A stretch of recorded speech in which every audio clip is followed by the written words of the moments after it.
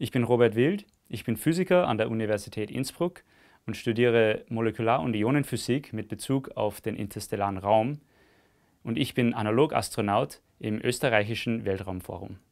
My name is Robert Wild. I'm originally from Austria. I spent a long time studying in the United States. I'm a physicist. I do research currently at the University of Innsbruck, doing molecular spectroscopy, molecular ions, um, specifically ones that are found in the interstellar medium.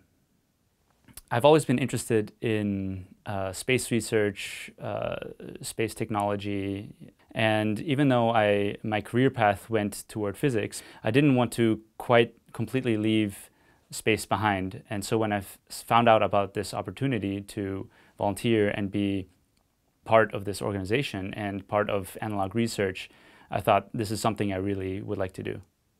The selection process was extremely interesting, um, but also very difficult.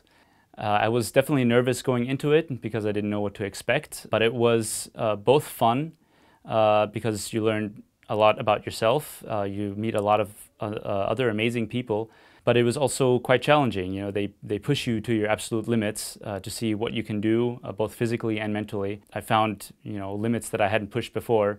Um, so it was uh, it was very very rewarding, and then of course uh, the fact that I uh, made it makes me even happier. Well, space matters um, for different reasons to different people. Some people, like myself, are just interested in the exploration aspect of it. You know, my I'm a scientist, uh, and I just want to find out things that we don't know before. Thinking back, I think my first real contact with space was when my family purchased a telescope. Uh, this was when I was back in high school.